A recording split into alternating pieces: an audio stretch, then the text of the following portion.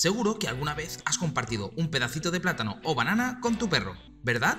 No obstante, ¿es una fruta beneficiosa para ellos? ¿Qué cantidad es recomendable que consuman? En este nuevo vídeo de Experto Animal te lo contamos todo. ¡Vamos allá!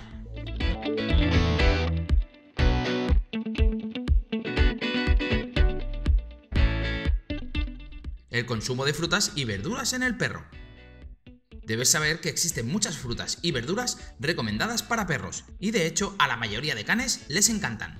Aunque el perro tiene requerimientos nutricionales concretos, en los que se debe priorizar el aporte de grasas y proteínas, también puede obtener beneficios del consumo moderado de fruta y verdura, pues les aportan vitaminas y minerales necesarios para su organismo. Es importante señalar que no a todos los perros les gustan las mismas frutas y que además algunas frutas y verduras son tóxicas para los perros. De hecho, incluso las frutas recomendadas para perros pueden tener un efecto negativo en el tuyo, si presenta alergia o intolerancia. Por ello, es recomendable añadirlas a la dieta de forma paulatina, iniciándolo con pequeñas porciones para comprobar la aceptación del organismo del perro. Beneficios del plátano para perros.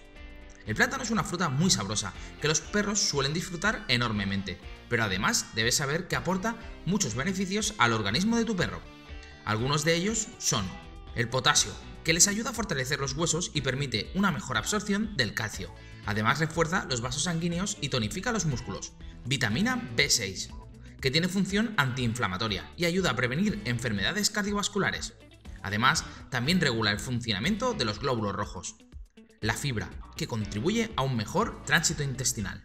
Vitamina C, que fortalece el sistema inmunológico y mantiene estables los niveles de presión arterial. También contiene probióticos naturales que ayudan a regular la flora intestinal, favoreciendo así un sistema digestivo más sano. Para terminar, añadiremos que el plátano es un alimento que contiene azúcares naturales, que aportan energía sin implicar aditivos procesados o colorantes artificiales, presentes en muchos alimentos dulces de consumo humano.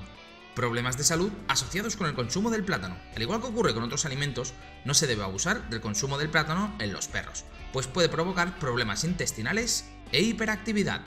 Cantidad recomendada de plátanos para perros. Una vez hayas comprobado que tu perro tolera el consumo del plátano, puedes empezar a adaptar las porciones teniendo en cuenta el tamaño de tu perro. En perros de raza pequeña, corta rodajadas de un centímetro aproximadamente y ofrécele solo dos. En perros medianos puedes ofrecer hasta la mitad de un plátano, mientras que razas grandes pueden consumir entre medio plátano y uno entero. Eso sí, no debes olvidar que el plátano es un alimento que debes ofrecer de forma puntual, Nunca debes sustituir al pienso o a la comida que administres a tu perro de forma regular.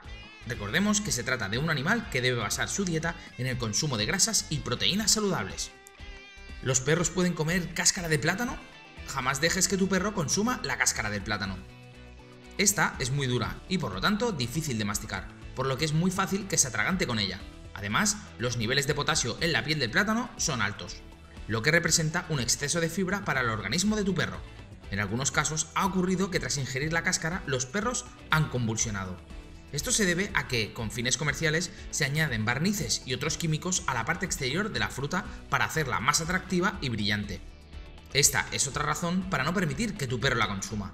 Si descubres que tu perro ha ingerido una de estas cáscaras, lo más probable es que solo vomite en las horas siguientes. Sin embargo, debes permanecer atento a cualquier otra reacción y en caso de que se manifieste otro signo, acudir al veterinario. Ahora ya sabes más sobre el consumo de plátano en los perros.